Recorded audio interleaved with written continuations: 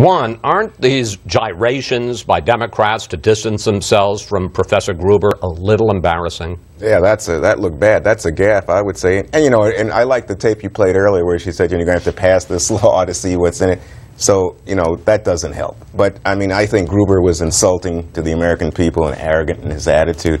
So there's a lot of hubris involved here, and I think it's a you know it's a feast for critics of Obamacare who suddenly are saying, oh, you know, this is why we are upset. Look, are you kidding me? In Washington, we package, we merchandise just like uh, you know Procter and Gamble and anybody else that's selling soap. Of course, things are packaged in such a way as to promote. So there's nothing new here. Nothing that Gruber's- There's very little. In fact, I would say as much ado about nothing with Gruber, except that the critics of Obamacare are having a field day. The act is working. The uninsured rate in the country's dropped by 25 percent. This is something that Republicans should be celebrating. We have more competition. We've done away with the Medicare donut hole. We have no lifetime caps and limits. We have no uh, conditions about pre-existing illnesses. We have preventative medicine. It's just incredible to me, though Republicans persist.